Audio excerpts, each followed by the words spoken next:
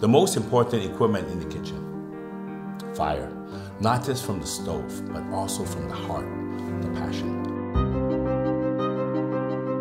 The challenge for the epicure, well, I'm cooking in Switzerland, and this is the land of the precision. You know, this is where they make the, uh, the watches. So I think precision, quality, I really want to meet the expectation of the people there, the personality, their passion. You know, when I think of a new recipe, the first thing I want to do is I want to break it down into the necessary DNA. So from the inspiration, I want to create a story that forms the core of the dish.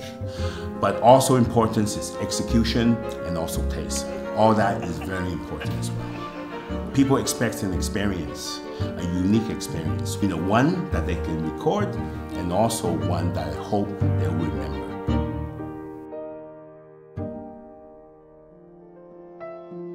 Zu The Epicure gehören auch unsere Masterclasses. Da bieten wir unseren Gästen und Genießern viele kleine Workshops, wo sie ihr Fachwissen äh, ein bisschen auffrischen können bzw. was lernen können, schlemmen und genießen können und von den Profis Informationen kriegen, die sie sonst vielleicht nicht erhalten.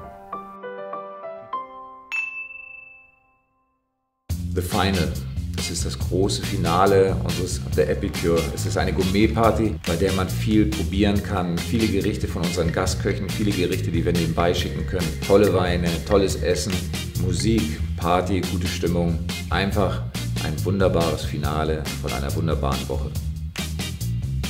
This time um, for Epicure, the challenge um, is to produce the same flavor because this is my first time cooking in Europe and the ingredients is different. So um, I'm trying to manipulate the ingredients to let it taste the same as in back home. I think people are more engaged into food and it's more global I should say.